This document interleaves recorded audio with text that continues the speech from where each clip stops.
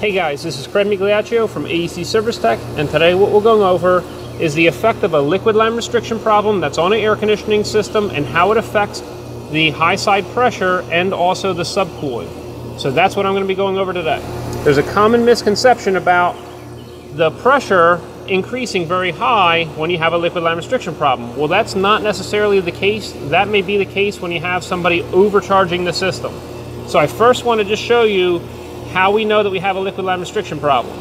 And the reason is over here on our, our vapor gauge, we're reading uh, right about 46 PSI. If we bring that in to the green inner ring, because this is an R22 air conditioner, we see we have a saturated temperature of 21 degrees.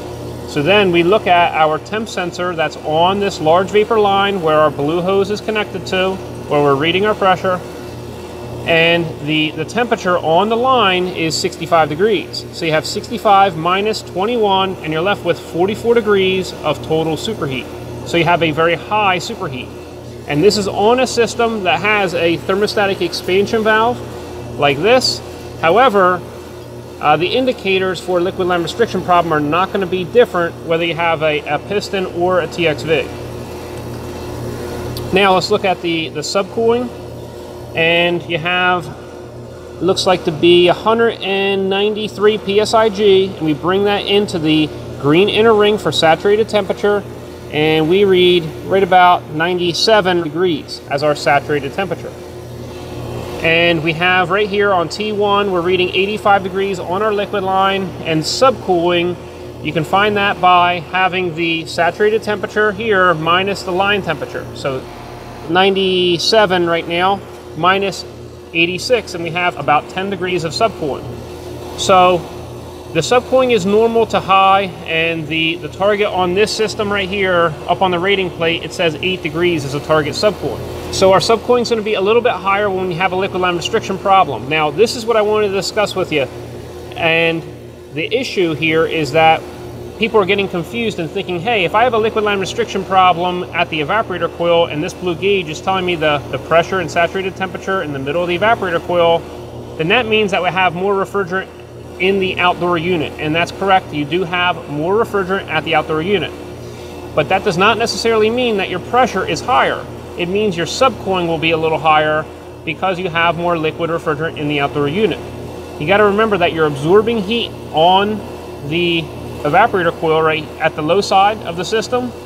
So that's where you're absorbing it at, and you're rejecting it here at your outdoor condenser coil.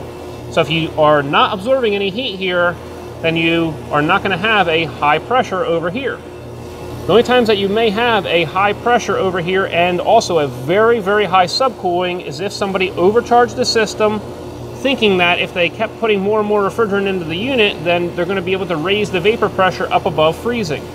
So you got to see that, uh, you got to make sure that the evaporator coil is above 32 degrees is a saturated temperature. And on a TXV system, it doesn't work the same as on a piston system. If you have a TXV, if you add more refrigerant into the system, it does not necessarily mean that the vapor pressure is going to increase. It just means that the subcooling over here on this high side gauge and on your liquid line, your temperature, the subcooling is going to increase. But on a system with a piston, if you add more refrigerant into the system, then you are going to have your vapor pressure increase, unless you have a liquid line restriction, meaning that this, this metering device inside this piston chamber is clogged, or this capillary tube right here is clogged. Maybe you have a strainer that looks like this right in the piston chamber. Maybe this is all clogged up, the stainless steel screen or maybe the filter dryer is, is clogged up and it's just not allowing the liquid refrigerant to, to get to the metering device and go into the evaporator coil in order to absorb the heat in the building. So I hope this is going to clear this up a little bit, regardless of whether we have a liquid line restriction problem or if the, the system is working fine and your vapor saturated temperature is say at around 40 degrees and maybe you have a superheat of 12 or 14 degrees, your pressure over here is not going to really change much. It's going to be probably about the same thing. When your system is functioning normally and you have a correct vapor saturated temperature, your subcooling would probably be around 8 degrees if this system was charged correctly. When you have a liquid line restriction problem, there's more refrigerant in the outdoor unit and you're gonna have a slightly higher subcooling. So in this case, we have about 10 degrees of subcooling, which is about two degrees higher than if the system uh, did not have a liquid line restriction problem. But your pressure is going to be the same. It just means that your, your spread here between your saturated temperature on your high side gauge and the actual temperature on the line is going to be a little wider.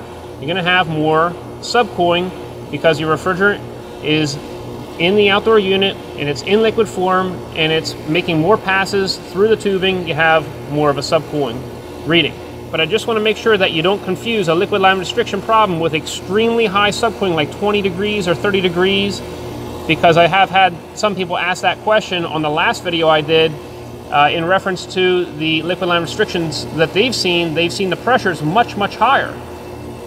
But that's because somebody added maybe an extra pound or two pounds of refrigerant into the system, and all that's happened is this pressure has increased and made a big spread between the saturated temperature here and the actual temperature on the line, and that's what they get used to seeing. But in reference to troubleshooting this, you gotta make sure that you're aware that you're not always gonna have an extremely high subcooling from somebody overcharging the unit.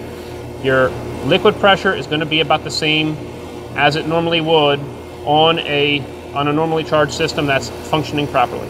If you want to learn more about troubleshooting air conditioning systems, check out our book, The Refrigerant Charging and Service Procedures for Air Conditioning. So in this book, we go over the preparation of a system for refrigerant, checking the charge, and also the troubleshooting. So the whole point is to know all the indicators when you're troubleshooting real quickly in order to solve the problems. So the superheat, the subcooling, the saturated temperatures, the delta T, all of those indicators and you want to be able to do that fairly quickly. We have our 1000 question workbook that's meant as a complement for our book. And it also comes with a self-study answer key and we have our quick reference cards for out in the field. Now these are made out of polystyrene and we have all of our indicators for all the different problems here. We have cards for checking the charge. We have also other cards for the PT chart and also refrigerant weights. All these are available over at our website at acservicetech.com and also over at amazon.com. We also have our ebook available over at Google Play.